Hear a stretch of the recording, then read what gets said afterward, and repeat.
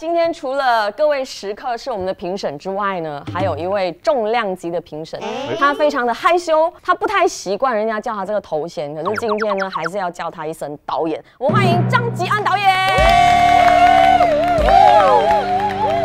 导演，导演，导演，导演，导演，导演，导演，导演，哇，他自己加戏耶！金马奖现场，你们这样讲就不对，不要叫导演，要叫金马导演。哇要哎，最近有要请男主角吗？你不适合他，比较适合。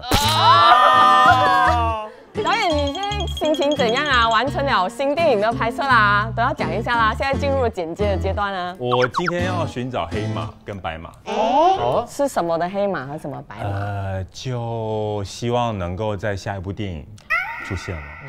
啊，所以原来这是一个我觉得选角突然观众不错，是不是？那有没有要当电影明星的啊？我，嗨，你好，你想要演什么哈？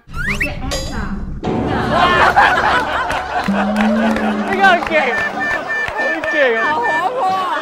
导演，你记得他哦。